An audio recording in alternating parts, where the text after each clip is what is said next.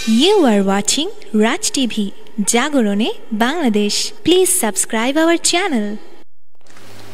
সুপ্রিয় দর্শক আমন্ত্রণ জানাচ্ছি রাজ টিভির নিয়মিত আয়োজন নিউরো কেয়ারে আমি ডাক্তার জয় আপনাদের সাথেই আছি আমাদের আজকের বিষয় হচ্ছে কোমর ব্যথা এবং এর প্রতিকার আমাদের মাঝে অতিথি হিসাবে উপস্থিত আছেন বাংলাদেশের বিশিষ্ট নিউরোসার্জন ঢাকা মেডিকেল কলেজ হাসপাতালের নিউরোসার্জারি বিভাগের সহযোগী অধ্যাপক এবং কোর্স কোঅর্ডিনেটর সবার শ্রদ্ধেয় ডক্টর সুকৃতি দাস স্যার। আপনারা কোমর ব্যথা এবং এর প্রতিকার সংক্রান্ত যে কোনো পরামর্শের জন্য আমাদের স্ক্রলে দেখানো নাম্বারে ফোন দিতে পারেন। অথবা ফেসবুকে রাজ টিভির যে পেজটি আছে আমাদের, সেখানে লাইক দিয়ে আমাদের সাথেই থাকতে পারেন। তো চলুন দর্শক আমরা শুরু করি আজকের রাজ টিভির নিয়মিত আয়োজন নিউরো কেয়ার স্যার কেমন আছেন স্যার? জি ভালো আছি। আপনাদের সকলের দোয়ায় স্যার আমন্ত্রণ জানাচ্ছি রাজ টিভির নিয়মিত আয়োজন নিউরো কেয়ারে স্যার আমাদের আজকের বিষয় হচ্ছে কোমর ব্যথা এবং এর প্রতিকার। স্যার আমি সুপ্রিয় দর্শক বুঝতেই পারছেন কোমর ব্যথা এবং এর প্রতিকার। বলা হয়ে থাকে যে কোমর ব্যথা হচ্ছে পৃথিবীতে দ্বিতীয় বৃহত্তম কারণ যার জন্য রোগীরা ডাক্তারের কাছে যায়। প্রথম কারণ হচ্ছে আমরা যেটাকে আমরা কমন কোল্ড বলে থাকি আর কি, সর্দি, কাশি। এর পরের যে কারণটা, সবচেয়ে কমনেস্ট কারণ, সেটি হচ্ছে আমাদের কোমর ব্যথা। তো বুঝতে পারছেন দর্শক, খুবই গুরুত্বপূর্ণ আমাদের আজকের বিষয়। চলুন আমরা আমাদের অতিথির সাথে আজকের বিষয় সম্পর্কে আলোচনা করে নিই। স্যার, আমি প্রথমেই জানতে চাচ্ছিলাম যে, স্যার, কোমর ব্যথা অথবা আমরা মেডিকেল টার্ম হিসেবে যেটাকে বলি লো ব্যাক পেইন এই রোগটা সম্পর্কে স্যার একটু আমাদের ব্রিফ ধন্যবাদ আপনাকে। প্রথমে আমি দর্শকদেরকে রাষ্ট্রীয় দর্শকদেরকে আমার এই অনুষ্ঠান দেখার জন্য বিশেষভাবে অনুরোধ করি। তারপরে আর একটা কথা বলতে চাই। আজকে ফোর্থ মার্চ বহু কষ্টে অর্জিত স্বাধীনতা। সেই স্বাধীনতার মাসে আমরা একটা ভালো টপিক নিয়ে আলোচনা করছি। আপনারা আমাদের এই আলোচনাতে অংশগ্রহণ করবেন।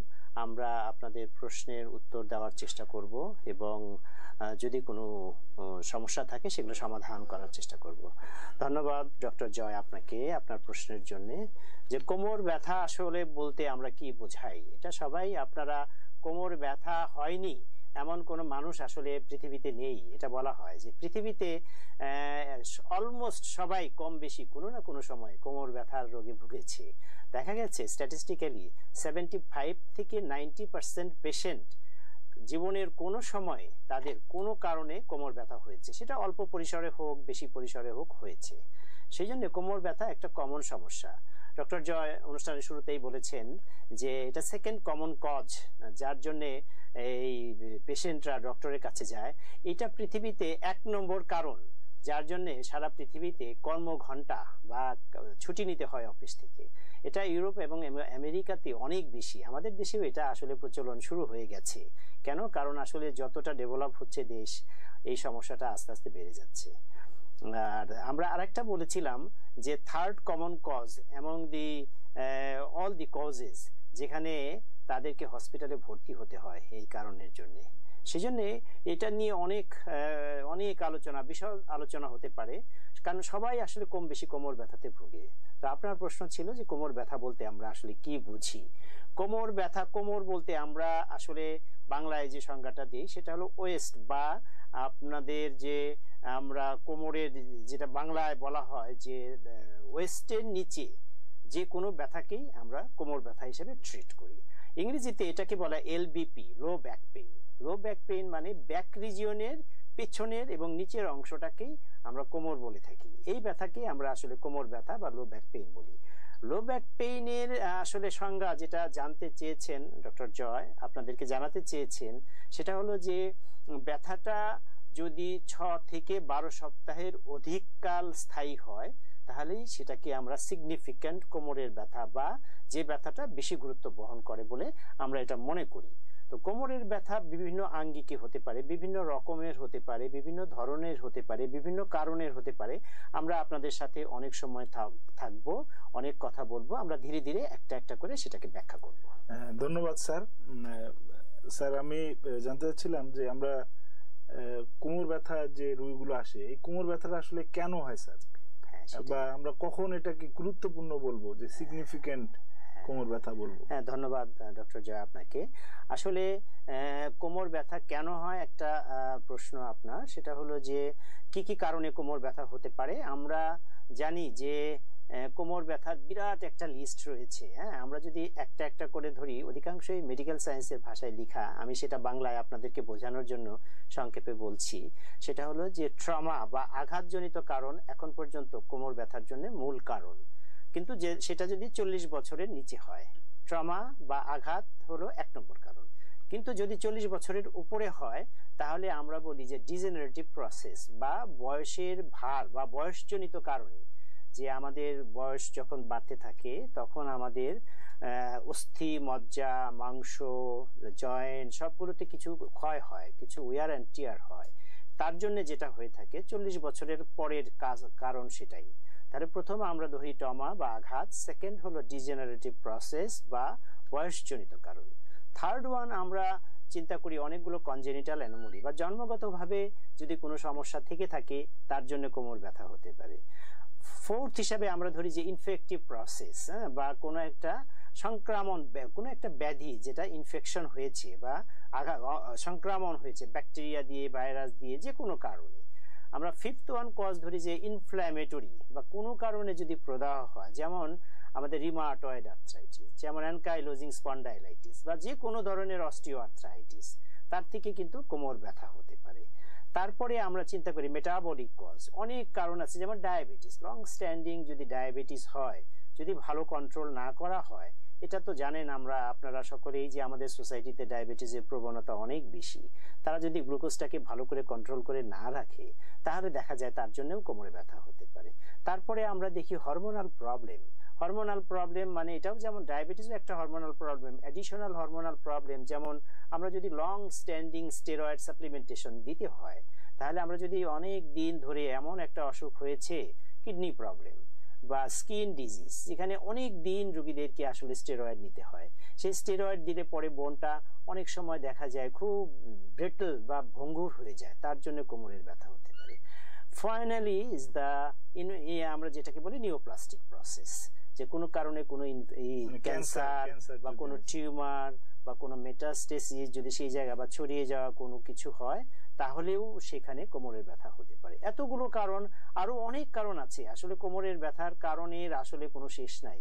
কারণ হলো কোমরের ব্যথার এত কারণ হলো আমাদের বডি ওয়েটটা তো আসলে কোমরের মাধ্যমেই পায়ের দিকে চলে যায়। বিধায় কোমরকে বাদ দিয়ে আসলে হয় না। আর তাছাড়া তো কিছু হ্যাবিচুয়াল প্রবলেম রয়েই গেছে। যেমন আমি যদি লং স্ট্যান্ডিং একটা অ্যাবনর্মাল পোস্টারে দাঁড়িয়ে কাজ করি, তাহলেও কিন্তু কোমরের ব্যথা হতে পারে। যদি আমি হেভি লিফট ওয়েট লিফট করি, তাও হতে পারে। যদি আমি একটু স্পোর্টসম্যান হয়ে থাকি আমার যে কোনো একটা স্প্রেনের জন্যও হতে পারে ব্যথা।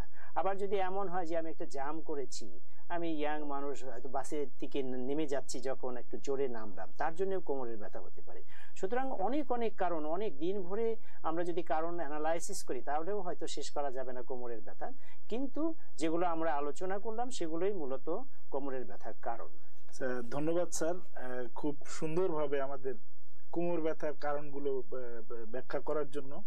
স্যার আমি জানতে চাচ্ছিলাম যে কোমর ব্যথাটা কাদের হচ্ছে? মানে বেশি কোন কোন বয়সীদের হ্যাঁ। হচ্ছে স্যার হ্যাঁ আপনি ঠিকই বলেছেন। আমার প্রথম প্রশ্নতে আমি উত্তরে আমি বলেছিলাম যে কোমর ব্যথা আসলে আমরা দুটো ভাগে ভাগ করি মূলত যে কি অধিকাংশ কোমর ব্যথা ট্রমাটিক বা আঘাত জনিত কারণে। আঘাতজনিত কারণে যাদের বয়স চল্লিশের কম বা যারা একটু ইয়াং হ্যাঁ তারা সাধারণত এই ব্যথায় ভুগতে থাকে। যেমন সেই আঘাতটা কেমন হতে পারে? সে একটা ফুটবলার হতে পারে, ক্রিকেট প্লেয়ার হতে পারে বা সে ওয়ার্কার হতে পারে, উপর থেকে পড়ে গেছে বা ট্রাক থেকে সে হয়তো জিনিসপত্র নামায়, সে বস্তা নিয়ে, ঘাড়ে বস্তা নিয়ে বা মাথায় বস্তা নিয়ে পড়ে গেছে, তার জন্য হতে পারে। আবার এমনও হতে পারে যে দুষ্ট বন্ধু বান্ধব হয়তো সাঁকোর উপর থেকে নদীতে লাভ দিচ্ছে হ্যাঁ বা পড়তে হয় অথবা অনেক উপরের জায়গার থেকে নিচে লাভ দিচ্ছে সেক্ষেত্রেও হতে পারে। সেইটাকে আমরা ট্রমাটিক ব্যথা বা আঘাতজনিত ব্যথা বলে থাকি। আবার এমন যদি হয় যে বয়স বেশি অধিক বয়স পঞ্চাশ বছর ষাট বছর এদের কিন্তু স্পাইনাল ক্যানালটা স্টেনোস্ট থাকে বা একটু বয়সের জন্য অস্টিওফাইড তৈরি হয়ে বা বোন নতুন বোন তৈরি হয়ে মেরুদণ্ডের উপরে এমনি হালকা ব্যথা থাকে। কিন্তু যখন এইটার সাথে একটু ট্রমা বা আঘাত যোগ হয় তখন কিন্তু কোমর ব্যথাটা অধিক আকারে আমাদের সামনে এসে উপস্থিত হয়। সুতরাং বয়স্ক রোগীদের ক্ষেত্রে কোমর ব্যথার মূল কারণ হলো ডিজেনারেটিভ প্রসেস সাথে ছোটখাটো ট্রমা বা আঘাত থাকতেও পারে নাও না থাকতে পারে। স্যার ধন্যবাদ স্যার। স্যার এই কোমর ব্যথার রোগীগুলো স্যার আপনাদের কাছে যখন আসে তখন স্যার কি কি উপসর্গ নিয়ে আসে? শুধু কি কোমর ব্যথা বলে নাকি আরও সাথে অন্য ধন্যবাদ। কোনো উপসর্গ থাকে হ্যাঁ? ধন্যবাদ ডক্টর যে আপনাকে আসলে অনেক সুন্দর প্রশ্ন কারণ রোগীরা তো আসলে আমাদের কাছে আছে এক একটার এক এক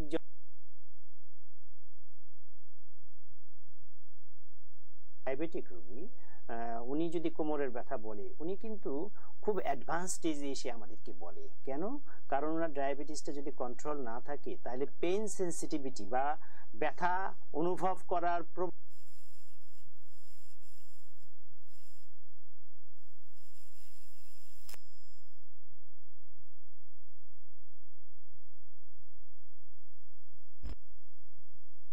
কম ডায়াবেটিক নিউরোপ্যাথির জন্য নাই। সুতরাং এই রুগী ডায়াবেটিক রুগী সাথে যদি কোমরের ব্যথা নিয়ে আসে, আমরা কিন্তু আগে থেকে অ্যালার্ট হয়ে যাই। কেন? কারণ এই জন্যেই যে ওনার ডিজিজটা অনেক দূর এগিয়েছে। আবার অনেক রুগী আসে যে একেবারে প্রাথমিক পর্যায়ে প্রথম ব্যথাতেই ডাক্তারের কাছে চলে আসে। এইরকম যে আমার কোমরে পিছনে ব্যথা হচ্ছে, বাটাকের উপরে ব্যথা হচ্ছে, ব্যথাটা পায়ের পিছন দিক দিয়ে একদম পায়ের তলা পর্যন্ত চলে যাচ্ছে। এটাকে আমরা সায়াটিকা বলি স্পেসিফিক সায়াটিকা পেইন বা সাধারণ বাংলায়ও অনেকে বলে সায়াটিকা হয়েছে। এটা আসলে সায়াটিক নার্ভ নামে একটা নার্ভ কোমর দিয়ে চলে যায়। এইটাই কি বাতের ব্যথা যে বলি? এই সায়াটিকাই কি বাতের ব্যথা হ্যাঁ সায়াটিকা বাতের ব্যথার একটা। এরকম অনেক কারণ আছে। এই তার মধ্যে সায়াটিকা ব্যথাটাও বাতের ব্যথার মধ্যে একটা। বাতের ব্যথা বলতে অ্যাকচুয়ালি আমরা অস্টিও আর্থ্রাইটিসকেই আমরা মিন করে থাকি। তাহলে ব্যথাটা লোকালাইজ হতে পারে, মাঝখানে পেছন দিকে থাকতে পারে, আবার ব্যথাটা এমন হতে পারে যে ব্যথাটা পেছন থেকে শুরু হয়ে একদম পায়ের তলা পর্যন্ত যেতে পারে। আবার কোনো কোনো ক্ষেত্রে দেখা যাচ্ছে পায়ের তলা পর্যন্ত না যেয়ে নি জয়েন্ট পর্যন্ত যাচ্ছে। সেরকম বিভিন্ন রকমের ডিস্ট্রিবিউশন হতে পারে। এগুলোকে আমরা বলি, ইংরেজিতে বলি বা মেডিকেল সায়েন্সের ভাষায় বলে থাকি রেডিকুলোপ্যাথি কিন্তু এই ব্যথা, ব্যথাটা আসলে কোমরের ব্যথা ছড়িয়েছে, এটা একটা। আর একটা ব্যথা হতে পারে যে ডাল অ্যাকিং পেইন যে লং স্ট্যান্ডিং ডাল অ্যাকিং পেইন অনেক দিন ধরে অল্প অল্প ব্যথা হয়েছে, সেইখানে এটা ছড়িয়ে যেতে না পারে, কিন্তু লোকালাইজ পেইন একদম রোগীরা একটুও নড়তে পারে না, একেবারে বেড রিডেন হয়ে যায়, এটাও এক ধরনের ব্যথা হয়। আবার এক ধরনের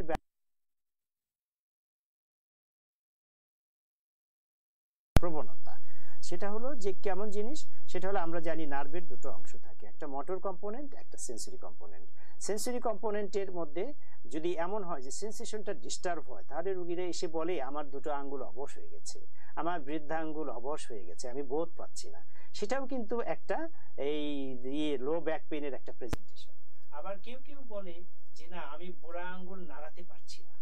আমি একদম আমাকে পাটা টেনে টেনে হাঁটতে হচ্ছে।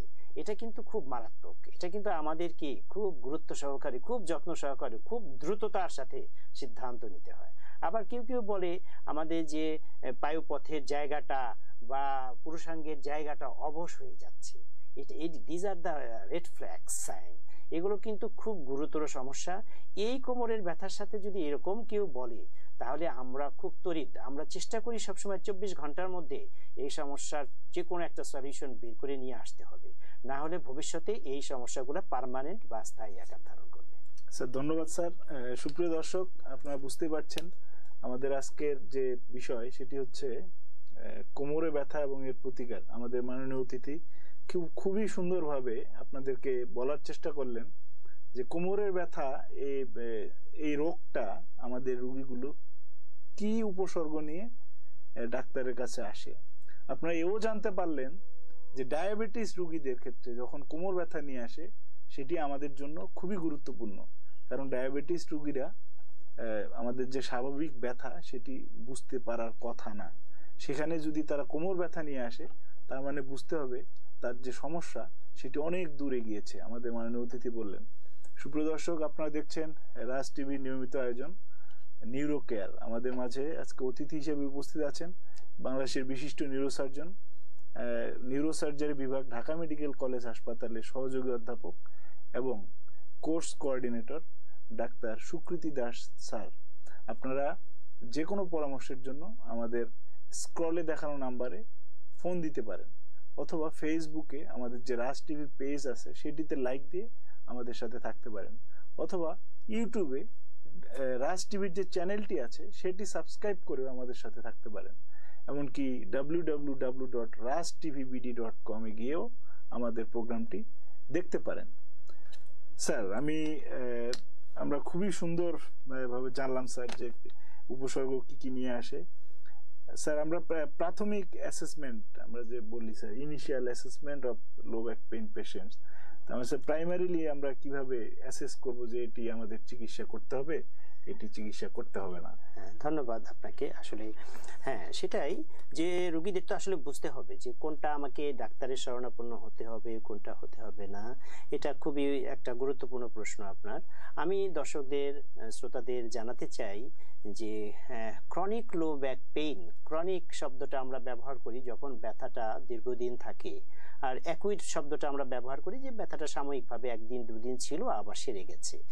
তো অ্যাকুইট লো ব্যাক পেইন অনেক সময় অনেকেরই হয়, একটু ব্যথা হচ্ছে, দোকানে, ওষুধের দোকানে বা ওভার দ্য কাউন্টার মেডিকেশন দিয়ে সে হয়তো ব্যথাটা, ব্যথার ওষুধ খেয়েছে, একটু রেস্ট নিয়েছে, সেরে গিয়েছে। এটা আসলে সিগনিফিক্যান্ট লো ব্যাক পেইন হিসাবে আমরা সংজ্ঞায়িত করি না। এটাকে অনেকটা ওই যে ওভার দ্য কাউন্টার মেডিকেশন গ্রুপেই আমরা ফেলে দিই। কিন্তু যদি ব্যথাটা ছ থেকে বারো সপ্তাহের মধ্যে স্থায়ীভাবে থাকতে থাকে তাহলে আমরা এটাকে বলি ক্রনিক লভ ব্যাক এবং এই রুগীদেরকে অবশ্যই ডাক্তারের শরণাপন্ন হতে হবে। কেন? কারণ আপনারা বুঝতেই পারছেন যে তিন মাস সময় তো আসলে কম সময় না। লং স্ট্যান্ডিং যদি অনিয়মিত এবং ইরেগুলার লং টাইম ব্যথার ওষুধ খেলে কি কি জটিলতা হয়, এটা আমার মনে হয় বাংলাদেশের সচেতন মানুষ সবাই বাই দি টাইম জেনে গেছে যে এটা কিডনি ক্ষতিগ্রস্ত হয়, বিভিন্ন অর্গান ক্ষতিগ্রস্ত হয়। তো আপনাদেরকে আমরা অনুরোধ করব আমাদের এই অনুষ্ঠানের মাধ্যমে যারা লং স্ট্যান্ডিং কোমরের ব্যথা হচ্ছে তারা নিকটস্থ ডাক্তারের সাথে যোগাযোগ করবেন এবং আপনার শরীরকে সুরক্ষা রাখবেন। স্যার ধন্যবাদ স্যার। স্যার আপনি একটু আগে বলছিলেন যে রেড ফ্ল্যাগ সাইন। আমরা কখন মানে কোন কোন সাইনকে রেড ফ্ল্যাগ সাইন বলছি স্যার? এটা হ্যাঁ, আসলে বইয়ের ভাষায় তো অনেক বলা অনেক কথা। আমরা আসলে সাধারণ শ্রোতা, দর্শক, আমরা যারা যারা ডাক্তার নন, সাধারণ মানুষকে বোঝার জন্য বলি রেড ফ্ল্যাগ সাইনটা বলা হয় এই জন্যে যেটাকে দ্রুত চিকিৎসা করতে হবে এবং ব্যবস্থা নিতে হবে। সেটাকেই আমরা রেড ফ্ল্যাগ বলি। আমাদের মেডিকেল সায়েন্সে অনেক রোগ আছে যেগুলোকে আসলে খুব বেশি দেরি করা যায় না। এই লো ব্যাক পেনের একটা অংশ আছে বা কোমরের ব্যথার একটা অংশ আছে, যারা আমরা অন্য দশটা ব্যথার মতো চিন্তা করে দেখা যাচ্ছে যে ঘুরে বেড়াচ্ছি। আমরা কোনো ব্যবস্থা নিচ্ছি না, কিন্তু সেটা করা যাবে না। যেমন একটু আগে এটা, এটার মধ্যে খুবই গুরুত্বপূর্ণ হলো কডাইকুনের সিনড্রোম নামে মেডিকেল সায়েন্সে আমাদের একটা। একটা হলো কোমরের ব্যথার যে যে কিছু নার্ভ থাকে, সেই নার্ভগুলো অনেকটা দেখতে ঘোড়ার লেজের মতো। সেই জন্যে এই ঘোড়ার লেজের মতো দেখতে নার্ভগুলো যখন চাপ পড়ে, তখন এটাকে বলে কডা ইকুইনা সিনড্রম এই সিনড্রম হলো আমরা আলোচনায় জানিয়েছি যে, যদি এমন হয় যে মোটর ডেফিসিট বা পা দুর্বল হয়ে যাও মূলত বৃদ্ধাঙ্গুলি। অনেকগুলো পা তো অনেক জায়গা কিন্তু বৃদ্ধাঙ্গুলিটা দুর্বল হয়ে যাওয়া খুবই গুরুত্বপূর্ণ। এটা একটা পয়েন্ট সেকেন্ড হলো যে আপনার পেশাব অথবা পায়খানা আটকে যাওয়া বা কন্ট্রোলটা না থাকা এটা হলো একটা পয়েন্ট যে আপনি পেশাবটা করতে পারছেন না বা পেশাবটা ধরে রাখতে পারছেন না। দৌড়ে যাওয়ার আগে হয়তো লুঙ্গিতে বা কাপড়ে পড়ে একটু ইন্টারফেয়ার করি স্যার আমাদের একজন দর্শক ফোন দিয়েছেন। স্বাগতম দর্শক রাজ টিভির নিয়মিত আয়োজন নিউরো কেয়ারে। আপনি আপনার পরিচয় দিয়ে আমাদের অতিথির সাথে কথা বলুন। আমি দীপক বলছি। জি। রংপুর থেকে। জি। তো আসলে আমি আপনাদের প্রোগ্রামে থেকে থেকে তো আজকে দেখতেছি আমার সুন্দর একটা প্রোগ্রাম হচ্ছে কোমর একটা বিষয় যে কোমরে ব্যথা। তো আমার মায়ের প্রতিনিয়ত ওই কোমরে ব্যথা হয় আর কি। তো মাঝে মাঝেই এই কোমর ব্যথাটা এমন ভাবে ধরে যে মানে তুলাতে পারে না। পরের দিন বিভিন্ন ডাক্তারদের পরামর্শ নেওয়া হচ্ছে। তো আসলে মানে জিনিসটা ক্লিয়ার হয় না। মাঝে মাঝে আবার দেখা যায়। আপনার প্রশ্নটা আমাদের স্যারকে করতে পারেন। আপনার প্রশ্নটা কি বলেন? হ্যাঁ প্রশ্নটা হলো যে আমার মায়ের কোমরে ব্যথা। জি। মানে কোমরে ব্যথাটা আসলে মানে ছেড়ে যাচ্ছে না। বিভিন্ন পরামর্শ নেওয়ার পরও বা বিভিন্ন ধরনের ট্রিটমেন্ট করার পরও জিনিসটা আসলে ক্লিয়ার হয়নি। স্যার আচ্ছা ধন্যবাদ। এর পরিবর্তে আমি এই স্যারের কাছে জানতে চাবো যে আসলে এর প্রতিকার হিসেবে মানে কি করা যায় এখন? হ্যাঁ, ধন্যবাদ দীপক সাহেব। আপনার প্রশ্নের জন্য আপনার আমাদের অনুষ্ঠান দেখছেন সেজন্য আপনাকে স্বাগতম। আমরা বলছিলাম আপনার মা যেহেতু আমরা ডেফিনেটলি আমরা ধরে নিব যে উনি বয়স্ক একজন মহিলা এবং ওনার অনেক দিন ধরে হয়তো কোমরে ব্যথা আছে, বিধায় এটাকে আমরা ক্রনিক ব্যাক পেইন হিসাবেই আমরা ধরে নিব। তো ক্রনিক ব্যাক পেইন চিকিৎসার আগে আগে কারণ নির্ণয় করতে হবে।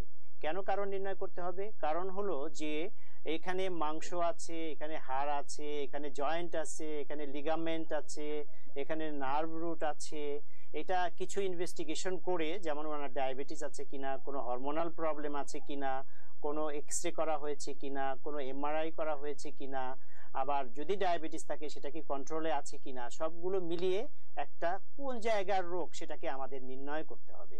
সেটা যদি এমন হয় যে মেরুদণ্ডের উপরে চাপ তৈরি করেছে হার বৃদ্ধি পেয়ে, তাহলে সেই হার বৃদ্ধিটা আমাদেরকে ঠেকাতে হবে। এই বয়সে তো হার বৃদ্ধি ঠেকানোর একটাই রাস্তা। ট্যাবলেট বা ওষুধে হয়তো পরিপূর্ণভাবে সেরে যাবে না। বিধায় হয়তো ডিকম্প্রেশন, আমরা যেটাকে বলি, ল্যামিনেক্টমি করে ডিকম্প্রেশন করে হয়তো সমাধান করা যাবে। কিন্তু বিস্তারিত জবাব দেওয়া যাবে যদি আমরা ইমেজগুলো, যেটা এমআরআই এক্স রে এবং প্যারামিটারগুলো দেখে আমরা কমেন্ট করতে পারি। আপনার প্রশ্নের জন্য আপনাকে ধন্যবাদ। ধন্যবাদ দর্শক। আশা করি আপনি আপনার প্রশ্নের উত্তর পেয়ে গেছেন।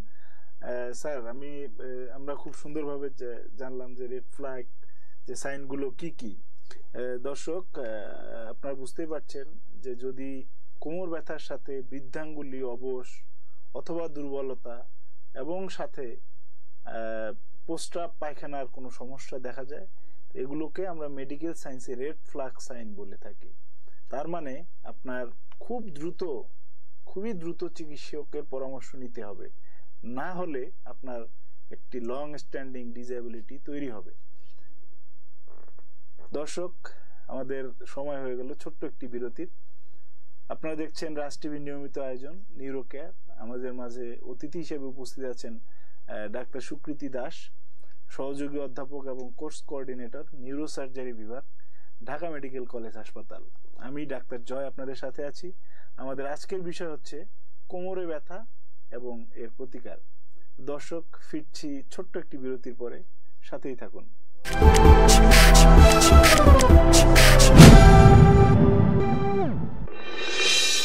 আমি সীমা।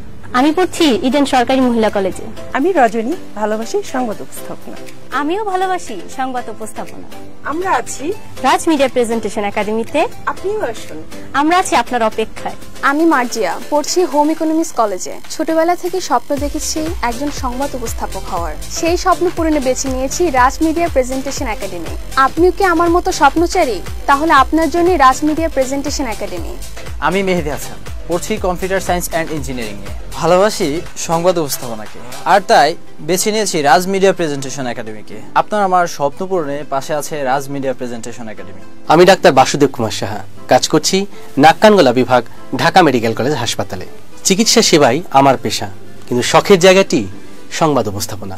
আর তাই কাজ করছি সুদীর্ঘ বছর ধরে বিভিন্ন টেলিভিশন চ্যানেল এবং রেডিওতে একজন সংবাদ পাঠক এবং অনুষ্ঠান উপস্থাপক হিসেবে। যারা স্বপ্ন দেখছেন একজন সংবাদ উপস্থাপক অথবা আর্জি হওয়ার জন্য, তাদের জন্যই একটি digital platform, Raj media presentation academy.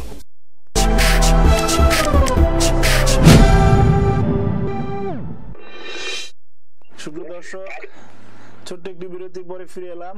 রাজ নিয়মিত আয়োজন, নিউরো কেয়ারে। আমি ডাক্তার জয় আপনাদের সাথে আছি। আমাদের মাঝে আজকে অতিথি হিসেবে উপস্থিত আছেন বিশিষ্ট neurosurgeon doctor Sukriti Das sir.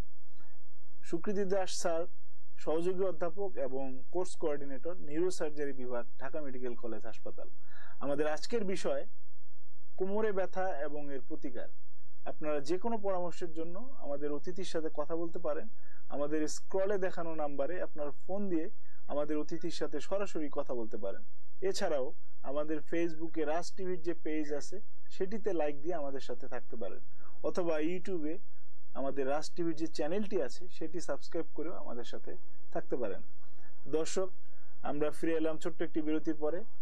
Sir আমরা আমাদের একজন দর্শক অপেক্ষা করছেন আপনার জন্য আমরা কি কলটা নিতে পারি অবশ্যই। স্বাগতম দর্শক রাজ টিভির নিয়মিত আয়োজন নিউরো কেয়ারে আপনাকে স্বাগতম। আপনি আপনার পরিচয় দিয়ে আমাদের অতিথির সাথে কথা বলুন। জি আসসালামু আলাইকুম। আমি রাব্বি ঢাকা থেকে বলছি। জি। আমার সার্ভিসে একটা প্রশ্ন ছিল। আমার বয়স একুশ বছর। আমি নয় দশ মাস ধরে আমার লাম্বার রিজনের লো ব্যাক পেইন আছে। সাথে প্রায় নয় দশ মাস ধরেই এই ব্যথাটা আছে। তো আমি ডক্টর দেখাইছি স্যারদেরকে দেখাইছি আমি এক্স রেও করছি এখানে। তো এক্স রেতে তেমন কিছুই না এক্স রেতে দেখাইছে মাসেল স্পাজম আর সম্প্রতি এমআরআই করছি। তো এমআরআই তে lumbar four five lumbar four five লেভেলে মাইল্ড ডিক্স পাল দেখাইছে আর কি। তো আমি স্যারের কাছে জানতে চাচ্ছি যে আমার ব্যথাটা মানে আমি যখন হাঁটা চলা করি তখন খুব একটা থাকে না।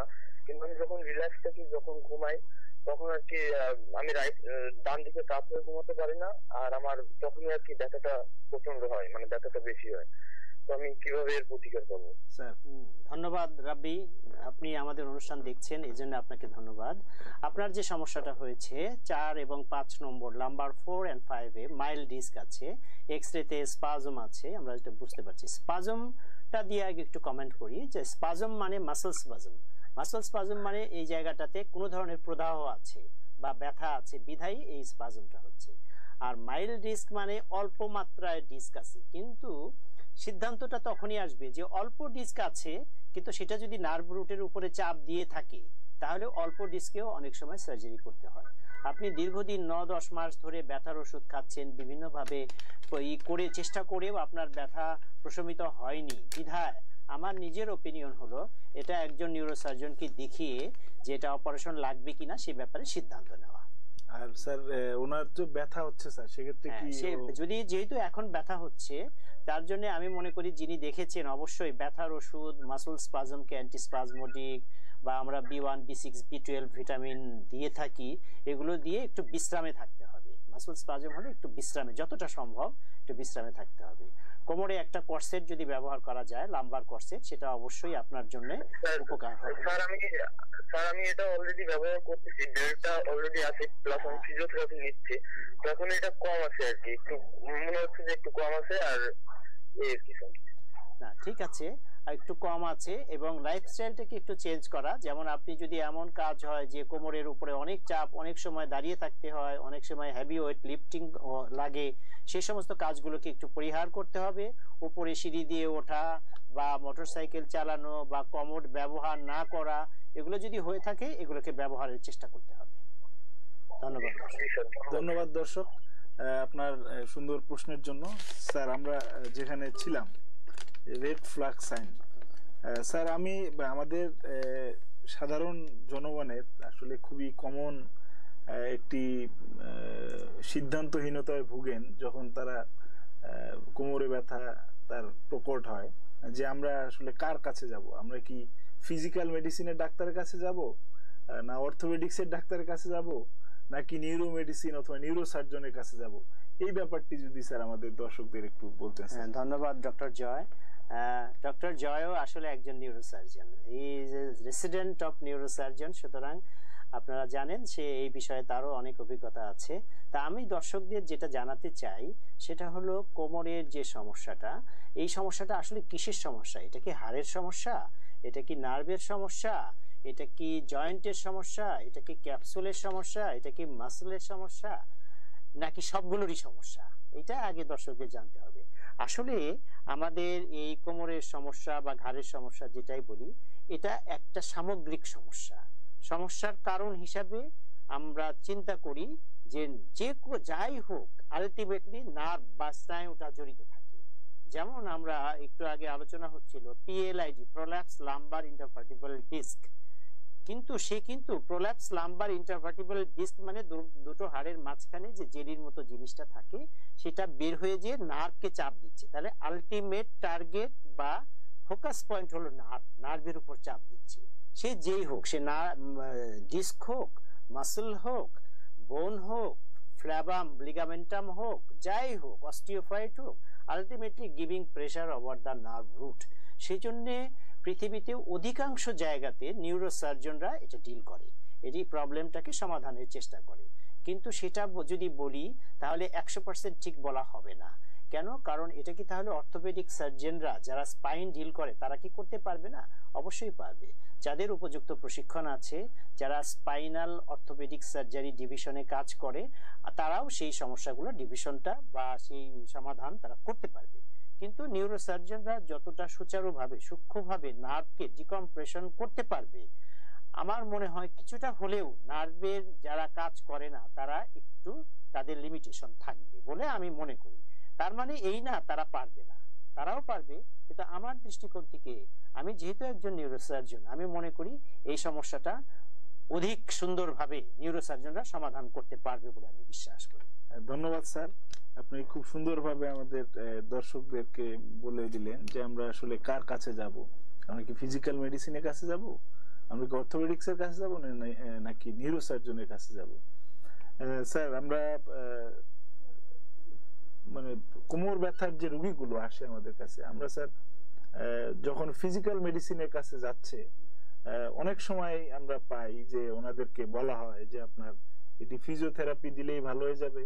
অথবা খুব সাম্প্রতিক আমরা কয়েকটি ঘটনা লক্ষ্য করেছি যে আপনার ইনজেকশনের মাধ্যমে যে স্পাইনে ইনজেকশন এই জাতীয় কথাবার্তা আমরা শুনে থাকি রুগীদের কাছ থেকে যে আমার ওই স্যার বলেছেন যে ইনজেকশন দিলেই ভালো হয়ে যাবে। অথচ আমরা পরে কিন্তু দেখি যে তার এমআরআইতে তার পিএলআইডি আছে। তার মানে কি আমরা এটা কি আধুনিক কোন চিকিৎসা পদ্ধতি কিনা যে পিএলআইডি তে হ্যাঁ হ্যাঁ আপনাকে ধন্যবাদ। আমরাও এটা সচরাচর পেয়ে থাকি যে আসলে সমাজে ব্যথা কমানোর জন্য পৃথিবীতে যত ডাক্তার তৈরি হয়েছে আমার মনে হয় আর অন্য কোনো সমস্যা সমাধানে এত ডাক্তার বা এত প্রক্রিয়া তৈরি হয় নাই। কেন? কারণ ব্যথাটা হলো মানব দেহের সবচেয়ে সবচেয়ে অধিক সংখ্যক অভিযোগ। এমন কোনো মানুষ নাই যার শরীরে আসলে ব্যথা নাই। সেই ব্যথা নিরাময়ের জন্য আমরা বিভিন্ন জন বিভিন্ন রকমের ভাবে আমরা চেষ্টা চালিয়ে থাকি। সেই সুযোগটাই নিচ্ছে কিছু অসাধু, কিছু জানে না একটু কম জ্ঞান সম্পন্ন ব্যক্তিরা। এটা দিয়ে তারা আসলে অধিক অর্থের বা লাভবান হচ্ছে। এটা আমার দৃষ্টিকোণ থেকে আমি এটা মনে করি। কেন? কারণ হলো, দেখেন, একটু বলি যে একটা অ্যাক্সিডেন্ট হয়েছে, একটা হাড় ভেঙে গেছে। বা একটা কোমরে চাপ পড়ে গেছে, এখানে ফিজিওথেরাপি বা ফিজিক্যাল থেরাপি কি করবে? আমি আসলে আমার এটা বোধগম্য হয় না। কিন্তু রুগীরা টেলিভিশনের পর্দায়, বিভিন্ন পত্রিকায়, বিভিন্ন লিফলেটে বিভিন্নভাবে প্রতারিত হচ্ছে। এটা আমি মনে করি সরকারের পক্ষ থেকে কিছু পদক্ষেপ নিয়ে এগুলো বন্ধ করা উচিত। এটা হলো একটা দিক। সেকেন্ড বললেন যে, আমাদের অনেক প্রশিক্ষিত doctor graduate post graduate doctor, এরা বিভিন্ন রকমের ডিভাইস বা মেথড ব্যবহার করছে যার স্থায়িত্বকাল মাত্র কয়েকদিন যেমন ইঞ্জেকশনের প্রসঙ্গ এসেছে। ইঞ্জেকশন আসলে আমরা হ্যাভি জাইলোকেন বা যে কোনো ধরনের ইঞ্জেকশনই আমরা দিয়ে থাকি সে নার্ভ রুটটাকে সাময়িকভাবে ডিসেন্সিটাইজ করে বা ব্যথাটা কমিয়ে রাখে। কিন্তু আমার সমস্যা তো ব্যথাটা কমিয়ে রেখে ব্যথা সমস্যা তো রয়েই গেল। মেইন যে মেইন যে সমস্যা যে চাপ দিয়েছে নার্ভ রুটের উপর চাপ দিয়েছে বা একটা হাড্ডি ভেঙে গেছে বা ডিসপ্লেসমেন্ট হয়েছে সেটা তো রয়েই গেল। তাহলে আমি সাময়িকভাবে একটা সমস্যার সমাধান করে গ্যারান্টি দিয়ে দিচ্ছি যে আপনার আর ব্যথা হবে না। এটাও এক ধরনের প্রতারণা। বিভিন্ন পেইন সেন্টার প্যারালাইসিস সেন্টার বিভিন্ন রকম ভাবে ইঞ্জেকশন দিয়ে দশ, বিশ, তিরিশ হাজার টাকা নিয়ে নিচ্ছে টেলিভিশনে অ্যাড দিচ্ছে, পত্রিকায় দিচ্ছে, দিয়ে দিয়ে তারা অসাধু ব্যক্তিদের লিস্টে তাদের নাম লিখাচ্ছে। এটা একটা।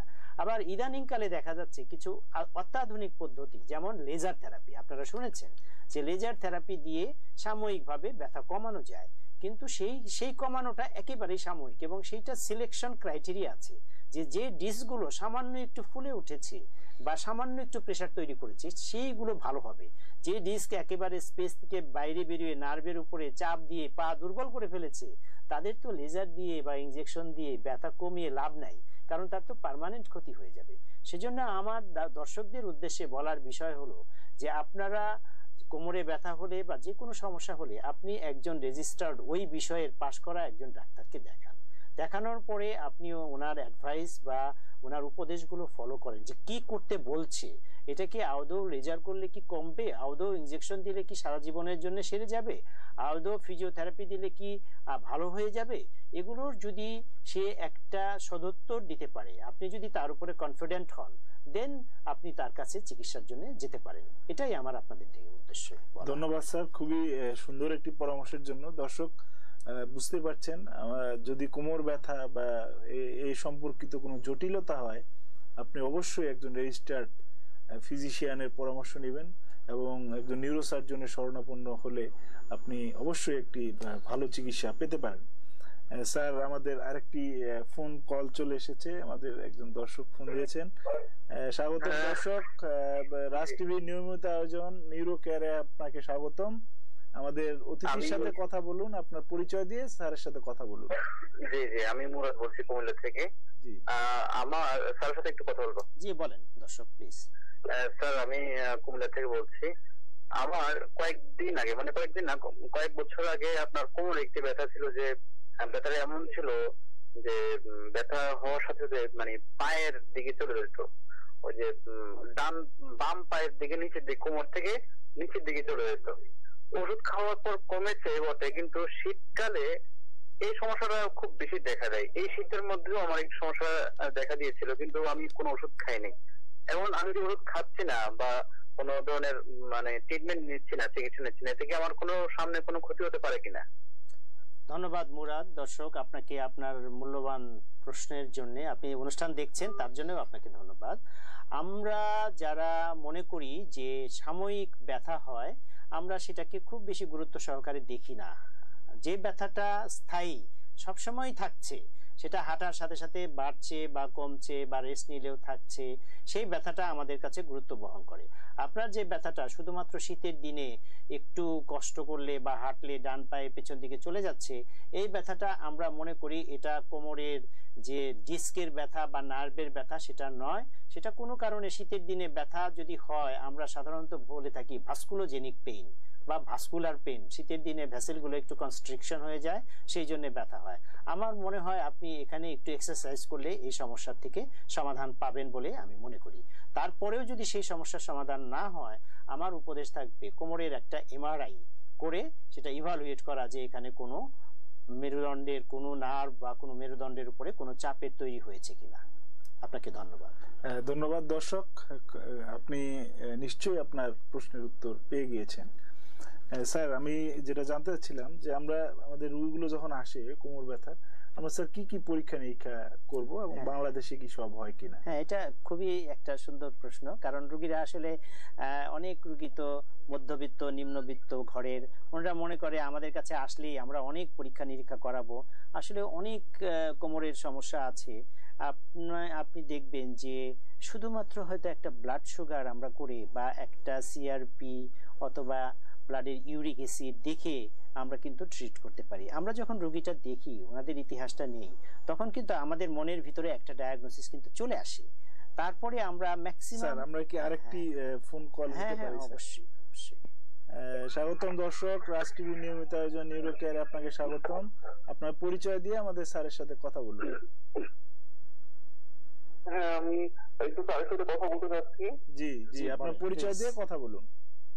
আমি সোহেল আমি বলুন। জি বলুন দর্শক বলুন। স্যার আমার পিঠে খুব ব্যথা করে। মানে পিঠের মধ্যে কেমন যেন মানে একটু কাজ টাজ করলে ব্যথা করে এবং সেই ব্যথাটা আস্তে আস্তে মানে নিচের দিকে যায়। মাঝে মধ্যে মাথাতে যায় মাঝে মধ্যে এমনিতে মানে পিঠে প্রচণ্ড ব্যথা। আর কি মেরুদণ্ডের দিকে পিঠে ডান পাশে এবং বাম পাশে। আসলে কি জন্য স্যার কি করতে পারি? ধন্যবাদ দর্শক আপনার প্রশ্নের জন্য। আমরা একটু আগে বলে নিই যে আগের প্রশ্নটার উত্তর একটু পরে দিচ্ছি, আপনার প্রশ্নটার উত্তর দিচ্ছি। সেটা হলো আমরা বলি এটাকে প্যারাস্পাইনাল স্পাজম। প্যারাস্পাইনাল স্পাজম সাধারণত দেখা গেছে যে লং টাইম যদি আপনি দাঁড়িয়ে দাঁড়িয়ে কাজ করেন বা একটা অফ পজিশনে কাজ করেন, তাহলে ফ্যাটিক হয় হ্যাঁ? Para erector spinae group of muscle paraspinal মাসুলগুলো fatigue হয়, তার জন্য সেটা ব্যথা হতে পারে। আমার মনে হয় আপনি বসে বা নির্দিষ্ট সময় অন্তর অন্তর একটু এক্সারসাইজ করবেন, কোমরের পিঠের একটু বিশ্রাম দিবেন।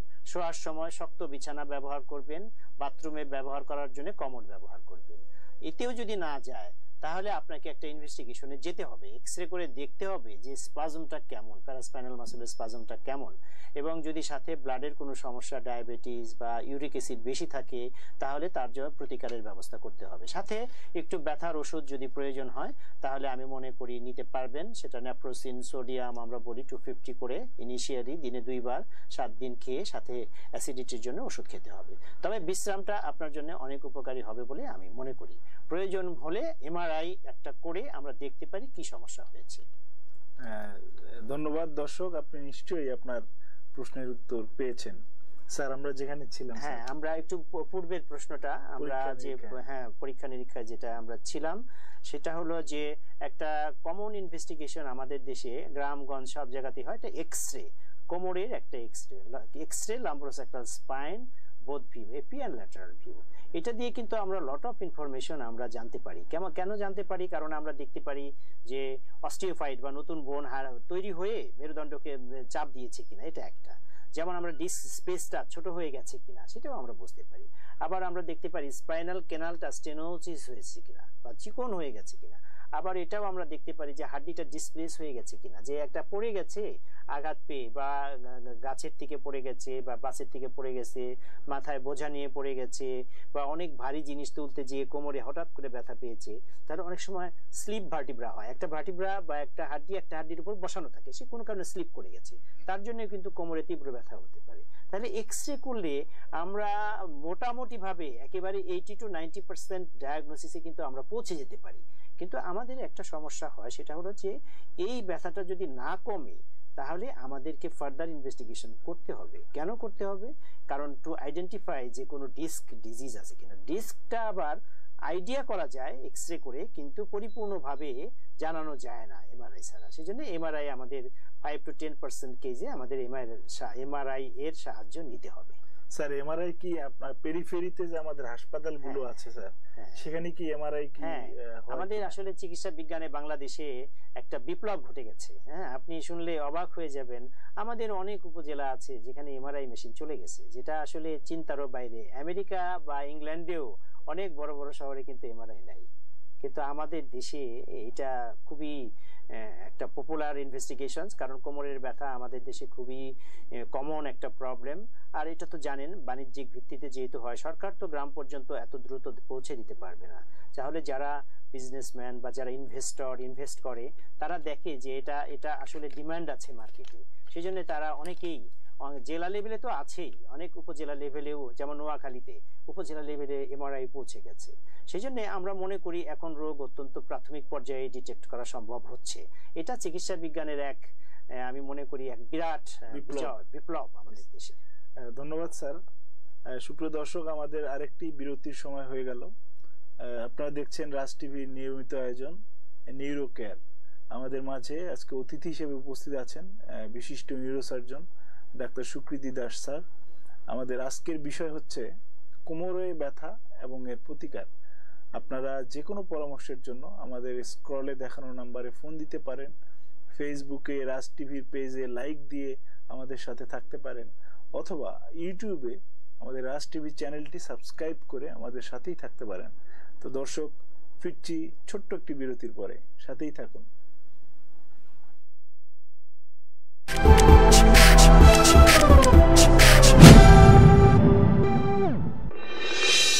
আমি সীমা। আমি পড়ছি ইডেন সরকারি মহিলা কলেজে। আমি রজনী ভালোবাসি সংবাদ উপস্থাপনা। আমিও ভালোবাসি সংবাদ উপস্থাপনা। আমরা আছি রাজ মিডিয়া প্রেজেন্টেশন একাডেমিতে। আপনিও আসুন। আমরা আছি আপনার অপেক্ষায়। আমি মার্জিয়া, পড়ছি হোম ইকোনমিক্স কলেজে ছোটবেলা থেকে স্বপ্ন দেখেছি একজন সংবাদ উপস্থাপক হওয়ার। সেই স্বপ্ন পূরণে বেছে নিয়েছি রাজ মিডিয়া প্রেজেন্টেশন একাডেমি আপনিও কি আমার মতো স্বপ্নচারী?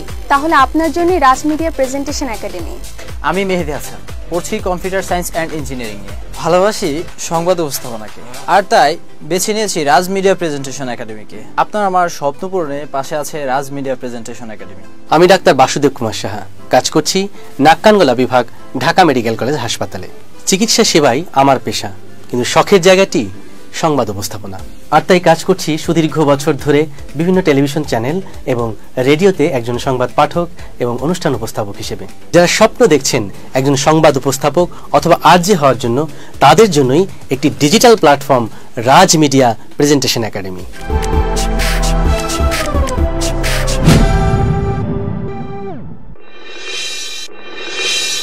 You are watching Raj TV, Jagorone, Bangladesh. Please subscribe our channel. সুপ্রদর্শক ফিরে এলাম ছোট্ট একটি বিরতির পরে রাজ টিভি নিয়মিত আয়োজন নিউরো কেয়ারে। আমি ডাক্তার জয় আপনাদের সাথে আছি। আমাদের মাঝে অতিথি হিসেবে উপস্থিত আছেন বিশিষ্ট নিউরোসার্জন ডাক্তার সুকৃতি দাস, সহযোগী অধ্যাপক এবং কোর্স কোঅর্ডিনেটর নিউরোসার্জারি বিভাগ, ঢাকা মেডিকেল কলেজ হাসপাতাল। আমাদের আজকের বিষয়, কোমরে ব্যথা এবং এর প্রতিকার। আপনারা কোমরে ব্যথা এবং এর প্রতিকার সম্পর্কিত যে কোনো পরামর্শের জন্য আমাদের অতিথির সাথে কথা বলতে চাইলে আমাদের স্ক্রলে দেখানো নাম্বারে ফোন দিতে পারেন অথবা ফেসবুক পেজে লাইক দিয়ে আমাদের সাথে থাকতে পারেন। স্যার আমরা যেখানে ছিলাম, যে আমরা কি কি পরীক্ষা নিরীক্ষা করতে পারি? আমরা স্যার প্রচুর আপনার দর্শক, অনেক কমেন্ট এসেছে। আমরা সব কমেন্ট নিতে পারছি না। দু একটি ম্যাক্সিমামে আপনাকে স্যার বলেছে স্যার শুভকামনা। সবাই শুভকামনা জানিয়েছে আপনাকে। একজন প্রশ্ন করেছেন যে, স্যার অনেক জায়গাতে উনি হচ্ছে মামুনুল ইসলাম উনি লিখেছেন, অনেক জায়গায় এক্স রে এক্স রেও করে, আবার এমআরআইও করে। তো স্যার, প্রথমেই এমআরআই করলে সমস্যা কি? ধন্যবাদ মামুনুল ইসলাম, আপনাকে আপনার মূল্যবান প্রশ্নের জন্য, যে সরাসরি এমআরআই করলে কি সমস্যা? আসলে এই যে একটু আগে বলছিলাম যে আসলে কিছু কিছু জায়গায় থানা লেভেলে বা, আরও গ্রাম লেভেলে এমআরআই পৌঁছেছে তার মানে না বাংলাদেশের সব জায়গায় পৌঁছে গেছে। দেশ অনেক উন্নত হয়ে গেছে, তার মানে এই না যে আমরা ডেভেলপড কান্ট্রি হয়ে গেছি। এক্স রে তো অনেক জায়গাতেই আছে, কিন্তু এমআরআই তো সব জায়গাতে নাই। সুতরাং যেখানে আছে, তাহলে আপনার প্রশ্ন হবে, যেখানে আছে, দুটোই আছে, কোনটা করাবেন? আসলে সিস্টেম অফ ইনভেস্টিগেশন অথবা আমরা যদি চিন্তা করি স্টেপসগুলো তাহলে আমি তো মনে করি যে সামান্য একটু কোমরের ব্যথা হলে সরাসরি এমআরআইতে যাওয়ার কোনো প্রয়োজন নেই। আমরা একটা এক্সরে করে আমরা একটা সার্বিক আইডিয়া পেয়ে এইটি টু নাইনটি পার্সেন্ট আমি বলছিলাম কি কি আইডিয়া আমরা পাবো। আমরা এইটি টু নাইনটি পার্সেন্ট আমরা কিন্তু রোগকে আমরা নির্ণয় করে ফেলতে পারব। তারপরে সেটা দিয়ে আমরা একটা ট্রিটমেন্ট শুরু করে দিতে পারি। আমরা দেখি যে কেমন হয় চিকিৎসা। কেন? কারণ এমআরআইতে আপনার যদি ডিস্ক ডিজিজ থাকে বা কোনো প্রবলেম থাকে, আমি তো কালকেই অপারেশনে চলে যাব না। I will try to treat বা আমি রুগীটাকে ওষুধ দিয়ে চেষ্টা করব একটু ব্যথা কমানোর স্বাভাবিক জীবনে ফেরত আনার জন্য। তাহলে সেটা যদি আমার সাধারণ এক্সরে দিয়ে হয়ে যায়, আমি কেন একটা কস্টলি বা একটা ব্যয়বহুল পরীক্ষা এমআরআইতে যাব? আমি মনে করি এমআরআই এর কোনো দরকার নাই, আগে আপনাকে এক্সরে থেকেই শুরু করতে হবে। স্যার ধন্যবাদ স্যার। স্যার আমি একটি প্রশ্ন জানতে চাচ্ছিলাম যে আমরা তো অনেক সময় বলি যে বোন স্ক্যান তারপরে স্যার ডিস্কোগ্রাফি বিভিন্ন ইলেকট্রো ডায়াগনস্টিক্স যেগুলো বাইরের দেশে হচ্ছে সেগুলো কি স্যার বাংলাদেশে সব হচ্ছে কিনা? আর যদি না হয়ে থাকে তাহলে কেন হচ্ছে না আচ্ছা ধন্যবাদ জয়। আসলে আপনাকে আপনার এই অ্যাডভান্স কোশ্চেনের জন্য আসলে খুবই মূল্যবান একটা প্রশ্ন করেছেন যে ডিস্কোগ্রাফি আমি একটা একটা করে উত্তর দিই। ডিস্কোগ্রাফি হলো আমরা ডিস্ক ডিস্কটাকে আমরা রেডিও অপেক ডাই দিয়ে দেখি যে ডিস্কটা কি ডিস্কের জায়গায় আছে না বাইরে বেরিয়ে আসছে। এটা দেখা। এটা আসলে একটা ইনভেসিভ প্রসিডিওর এই প্রক্রিয়া করতে গেলে ডিস্ক নিজেও আবার ইনজুরি হতে পারে। যে ইনজুরি একটা আছে আবার ধরলাম যে যার ইঞ্জুরি নাই, একটা ইঞ্জুরি নাই। কিন্তু আমি যখন ডিস্কোগ্রাফি করার জন্য এর ভিতরে ডাই ঢুকিয়ে দিচ্ছি, যে জায়গা দিয়ে ঢুকে, ঢুকিয়ে দিচ্ছি, ওই জায়গা দিয়ে ডিস্ক ম্যাটেরিয়ালটা বের হয়ে এসে পরবর্তীতে নার্ভ রুট কম্প্রেশন করতে পারে। বহু প্রতিষ্ঠান আছে বা আমাদের দেশের বাইরে পার্শ্ববর্তী দেশে ইন্ডিয়াতে তারা ডিস্কোগ্রাফি রুটিনলি ব্যবহার করে। কিন্তু আমাদের দেশে আমরা ডিস্কোগ্রাফি কেউ কেউ করছে একেবারে করছে না তা না আমার জানা মতে এক দুইজন করছে কিন্তু এটা খুব বেশি প্রয়োজন বলে আমি মনে করি না। কিন্তু আমাদের দেশে হচ্ছে এটা একটা। এটা একেবারে অত্যাবশ্যকীয় পরীক্ষা নয়।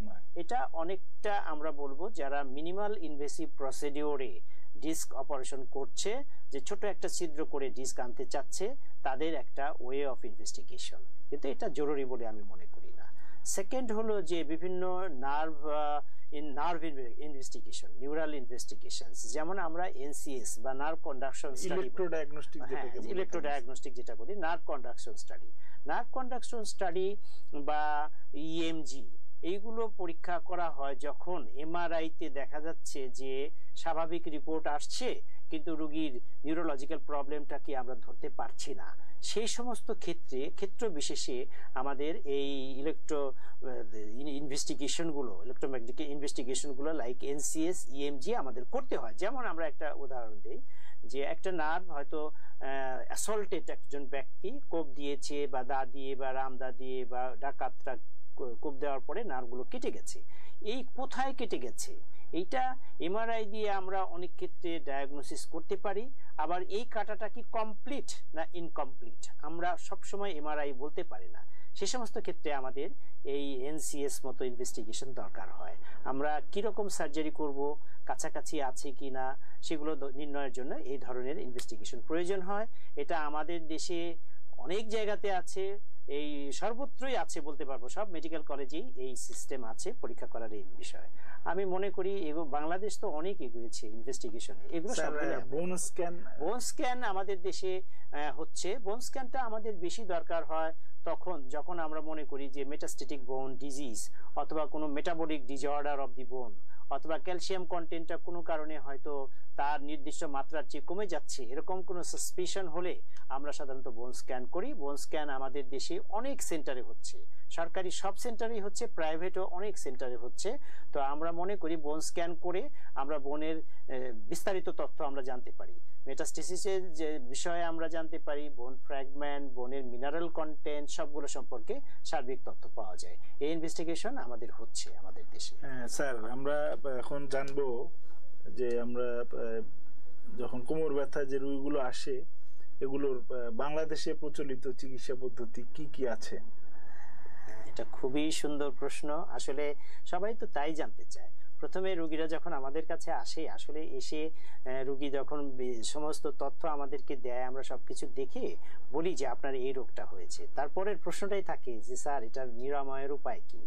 আপনার এই প্রশ্নটা আসলে আমাদের সাধারণ দর্শকদের অনেক উপকার হবে বলে মনে করি। আমাদের দেশে লো ব্যাক পেইন বা কোমরের ব্যথা বিবিধ ধরনের চিকিৎসা প্রচলিত আছে।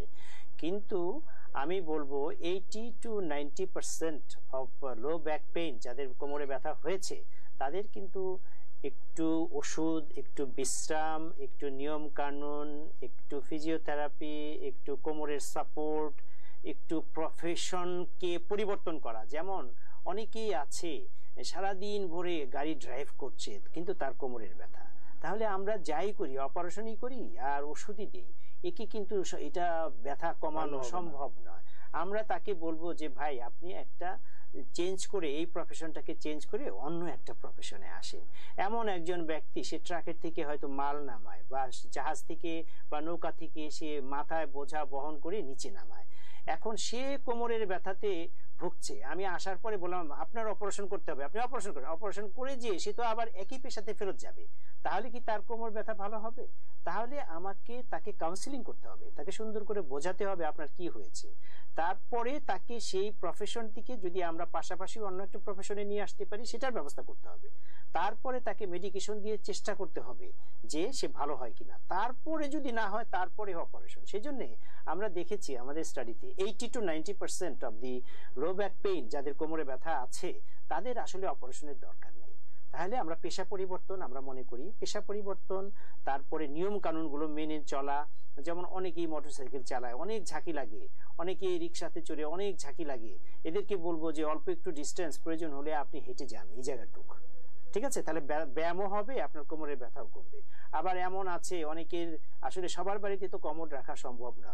আমরা ওনাকে রিকোয়েস্ট করব যে, আপনি দু হাজার, তিন হাজার টাকা লাগলেও আপনি কষ্ট করে বাসায় একটা কোমর লাগিয়ে তাহলে ভালো হবে। অনেকেই যে ব্যায়াম নামাজ পড়ে বিভিন্নভাবে নামাজ পড়ে, আমরা ওনাকে বলব আপনি ইশারায় বা চেয়ারে বসে নামাজ পড়েন যাতে আপনি কোমরে চাপটা না লাগে। অনেকেই অনেক জার্নি করে, অনেক পেশা আছে যারা প্রতিদিন অনেক জার্নি করতে হয়। আমরা তাদেরকে বলব যে আপনারা একটু জার্নিটা একটু কমিয়ে দেন।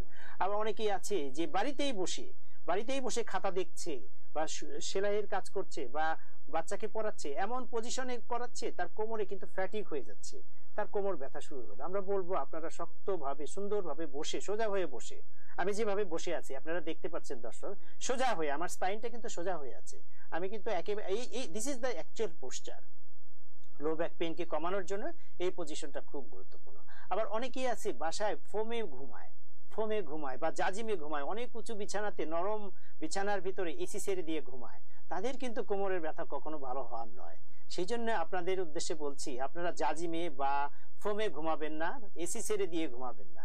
আপনারা শক্ত বিছানায় ঘুমানোর চেষ্টা করেন। প্রয়োজন হলে জাজিম বা ইয়ের উপরে একটা কাঠের তক্তা বা একটা হার্ডবোর্ড দিয়ে ঘুমান তাহলে দেখবেন অন্তত কোমরের ব্যথার থেকে আপনারা রক্ষা পাচ্ছেন।